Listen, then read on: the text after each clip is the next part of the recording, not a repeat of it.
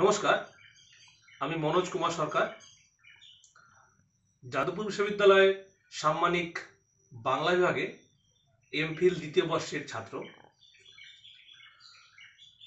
বর্তমান এই কঠিন পরিস্থিতিতে, অর্থাৎ এই কোয়ারেন্টাইনের সময়, তারপর একের পর এক দুর্যোগের মধ্যে, আজ আমি আমার জীবনের এমন কিছু মুহূর্তের কথা বলব, যা হয়তোবা এই সময়ে যখন, অর্থাৎ যখন আমাদের দেয়ালে পিঠ ঠেকতে চলেছে প্রায়, তখন আমাদের হয়তো বা অনুপ্রাণিত করলেও করতে পারে। আমি মনে করি আমার এই যে সংগ্রামের কাহিনী, অর্থাৎ আমার শৈশব থেকে আজ এই বিশ্ববিদ্যালয়ের গণ্ডির মধ্যে এসে পড়বার যে কাহিনী হয়তোবা আপনাদের একটু হলেও অনুপ্রাণিত করবে। আমার জন্ম উনিশশো বিরানব্বই সালে এগারো এপ্রিল, বাংলার চৈত্র মাসে। আঠাশ তারিখ।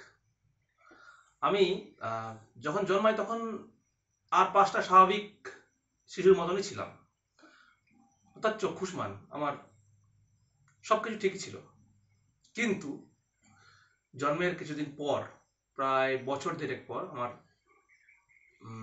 চোখে কোনো একটি সমস্যা হয়। সেই সমস্যার সময় একটি ওষুধ আমার আমাকে দেওয়া হয়েছিল খেতে, সেই ওষুধটি খাওয়ার পর আমার চোখে একটু সমস্যা শুরু হয় এবং ইনফেকশন হয়ে যায়। ধীরে ধীরে আমার চোখে সেই সংক্রমণ ছড়িয়ে পড়ে। প্রথমে বাম চোখে, তারপর ডান চোখে এবং কিছুদিন পরে আমি দৃষ্টিশক্তি হারিয়ে ফেলি। স্বাভাবিক অবস্থাতেই আমি, আমাদের পরিবারের প্রথম সন্তান, সেই সুবাদে বাড়ির লোক হতাশায় ভেঙে পড়েন। এরকম একটা ছেলে এরকমভাবে এখন কি করব তাকে নিয়ে? তো এই অবস্থাতে আমার আমার দাদু তথা আমার পিতামহ একদিন কলকাতায় রাস্তা দিয়ে যাচ্ছিলেন। দুটি ব্লাইন্ড ছেলেকে দেখে জিজ্ঞাসা করেন, তোমরা কোথায় পড়াশোনা করো? তো ওরা বলেন যে, ক্যালকাটা ব্লাইন্ড স্কুলে পড়াশোনা করি। তো তোমরা কি করো? তো উত্তরে তারা বলেছিল, আমরা চাকরি করছি। আমি কলেজে পড়াই আর ও স্কুলে পড়াই তো আমার দাদু বলেন আমার নাতিটা এরকম সমস্যা, তো কি করব? তো ওরা বলেন যে আপনারা বেহালা স্কুলে ভর্তি করে দিন। কিন্তু ওদের মধ্যে একজন ব্যক্তি ছিলেন, যিনি বললেন আপনাদের বাড়ি কোথায়? তখন বলল, আমাদের বাড়ি কাটোয়া। তারপর উনি বললেন যে, নবদ্বীপে এপিসি ব্লাইন্ড স্কুলে ভর্তি করে দিন। এইখান থেকে আমার পড়াশোনার জীবন শুরু। এপিসি ব্লাইন্ড স্কুলে আমি যখন তৃতীয় শ্রেণীতে উঠব, ঠিক সেই সময় আমাকে স্কুল বদলে দেওয়া হয়। আমি ভর্তি হই Narendrapur Ramakrishna mission blind boys একাডেমিতে এখানে আমার জীবন নতুনভাবে, নতুন স্রোতে চলতে থাকে।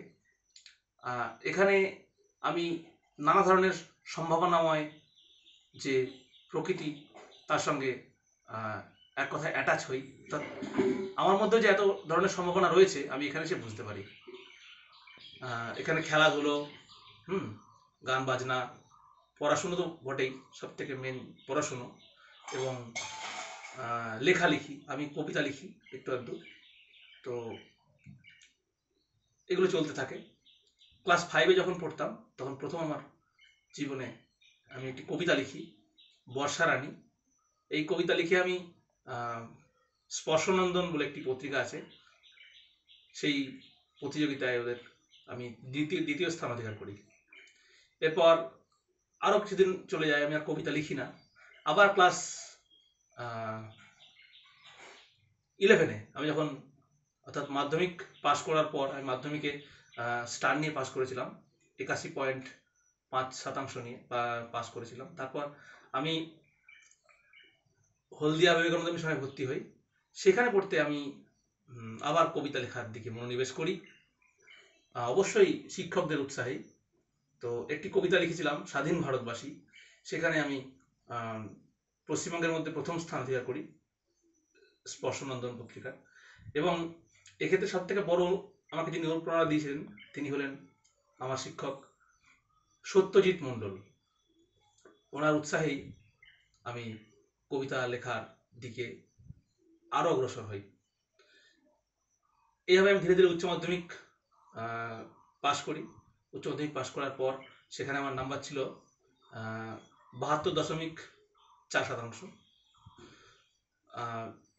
ইচ্ছে ছিল ইতিহাস নিয়ে পড়ব। স্যাররা বলতেন, তুমি ইতিহাস নিয়ে পড়ো। কিন্তু আমি মানে এটাকে কি বলব, ভাগ্যের একটা বিড়ম্বনা বা কিছু একটা হয়তো কি বলব আমি জানি না।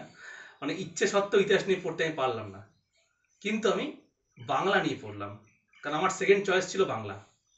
তো বাংলা নিয়ে আমি যাদবপুরে অ্যাডমিশন টেস্টে সেখানে কোয়ালিফাই করলাম। তারপর যাদবপুর ইউনিভার্সিটিতে ভর্তি হলাম। First year second year third year M A pass করার পর এখন আমি এমফিল পড়ছি। তো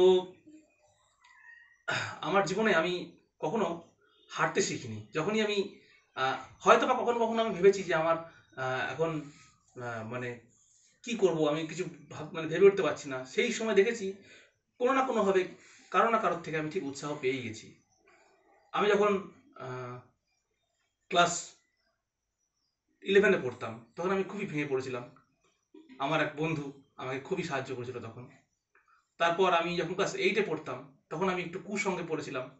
সে কুসঙ্গে পড়ে আমি নানাভাবে যাকে বলে বিগড়ে যাওয়া, বিগড়ে যাচ্ছিলাম প্রায়। কিন্তু আমারই এক শিক্ষক নরেন্দ্রপুর রামকৃষ্ণ মিশনের, তিনি আমাকে উৎসাহ দেন এবং আমি মাধ্যমিকে ভালো রেজাল্ট করি।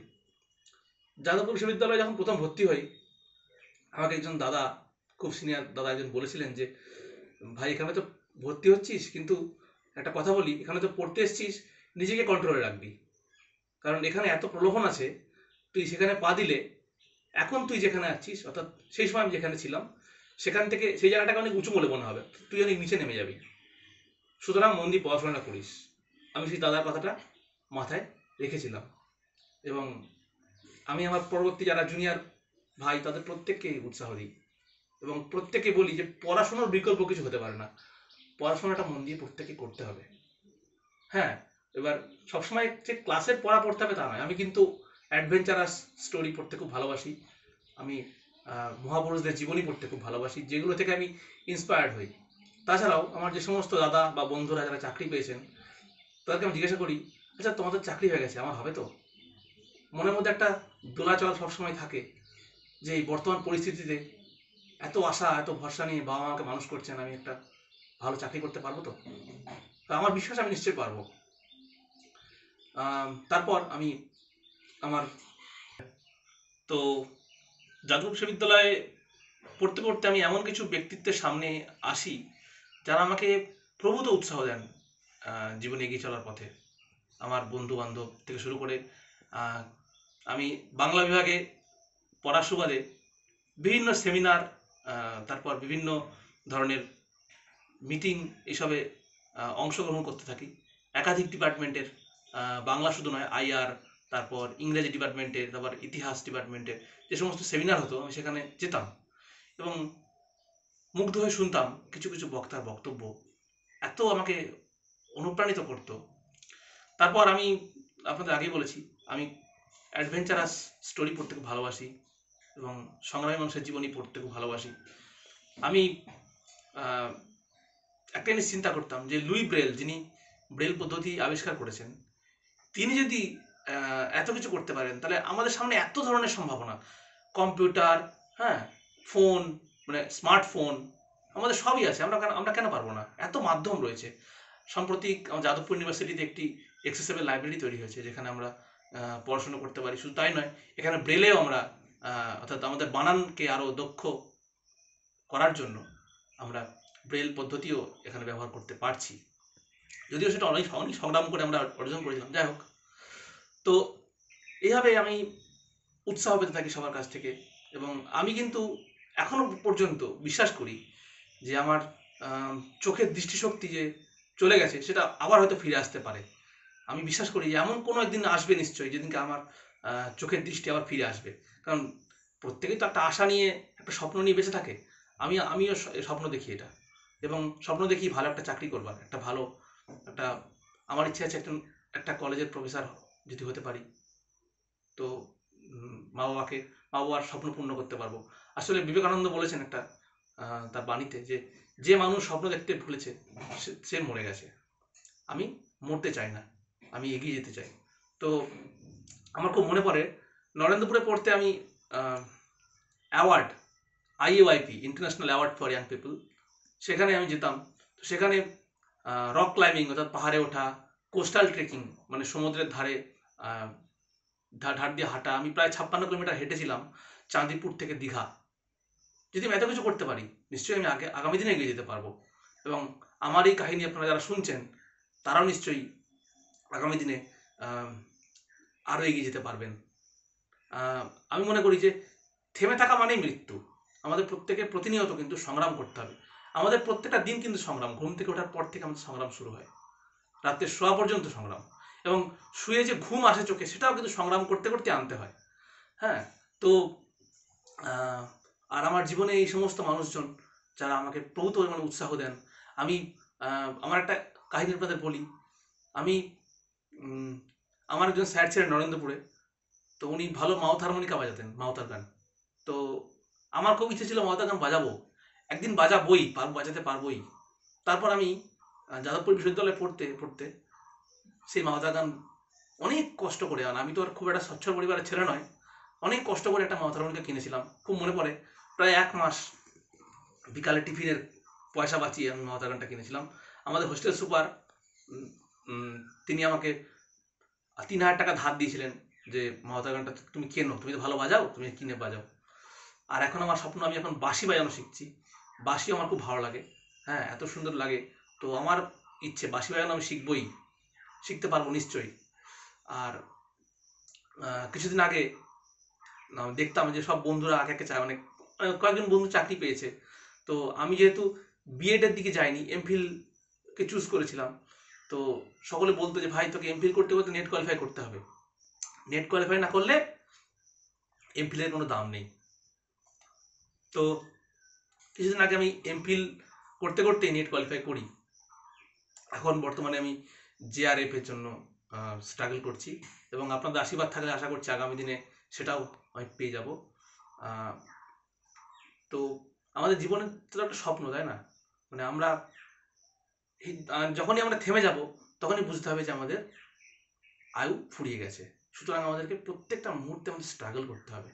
স্ট্রাগল ছাড়া কিন্তু কোনো কিছু আসবে না। অধ্যাবসায় অধ্যাবসায় থাকতে হবে আমাদেরকে। হ্যাঁ আমি একটা, আমি অত্যন্ত ফাঁকিবাজ একটি ছেলে।